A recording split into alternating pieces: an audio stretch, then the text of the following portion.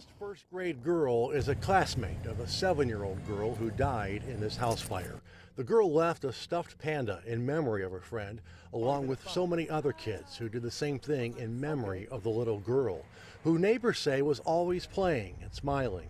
A Fox 8 viewer took this picture that shows just how intense the flames were just after 3 o'clock Sunday morning. There had been a report that uh, somebody may be inside.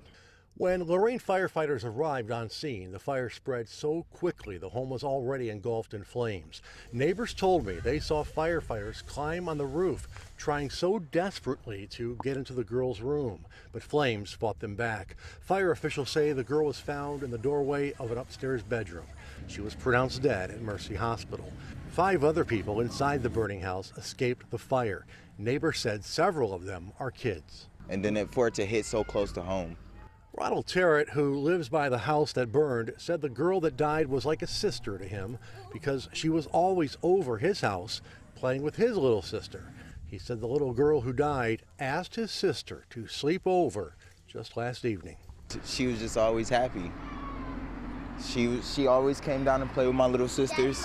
They were they were like best friends. You would never and just to think like she asked she asked if my little sister could stay over.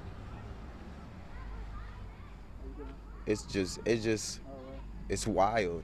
It's really heartbreaking because I have a seven-year-old and I can I can tr- I don't I can only imagine prayers to their family. Lorain firefighters who tried so hard to save the girl's life can't stop thinking about the girl and her family.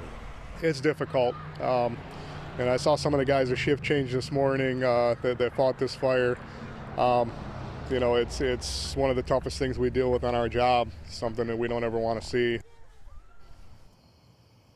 And her friends told me the little girl who died in that fire this morning was so excited just a few days ago, last Wednesday, about starting first grade. And of course, this fire remains under investigation. The uh, state fire marshal also assisting the Lorain Fire Department to try and find the exact cause of this deadly fire.